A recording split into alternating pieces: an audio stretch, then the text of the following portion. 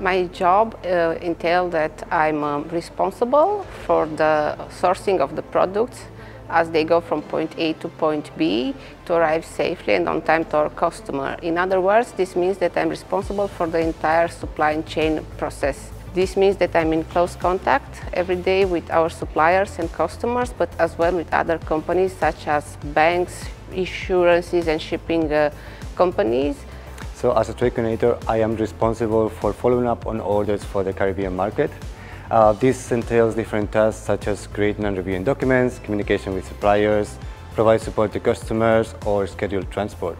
Some days are more hectic as you have to arrange um, things ASAP, think proactive and act fast because we work with different customers and suppliers from all over the world, which means there are different time zones. And of course, as we deal every day with suppliers and customers from all over the world, it's a benefit to speak different languages.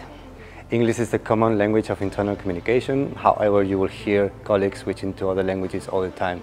And in our headquarters in Antwerpen, we have 36 different nationalities among 300 employees. We say sometimes that you can meet the world in our cafeteria. Also, if you come as a new employee at Manuchar, you're gonna get a buddy. The buddy is the person that has more knowledge in the company and that's gonna help you to meet new people from other departments. I am myself a trainer and I teach the Manuchar Basic Training, which is a basic introduction to logistics and international trade for new colleagues during the first weeks. Due to the different activities that we have inside the company, not only work related, but also thematical parties and different activities to get to know each other, it helps us to easy down the stress that we accumulate during the day. For example, um, team building events or afterward drinks my favorite activity is the yoga practice that I get to do in the summer in the garden of the office.